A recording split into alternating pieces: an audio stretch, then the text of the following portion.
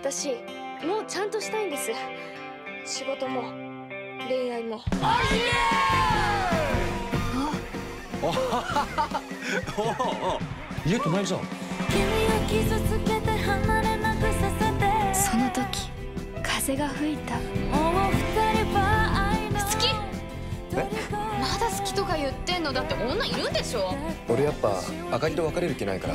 恋愛でカッコつけになるって最悪。ピースオブケイク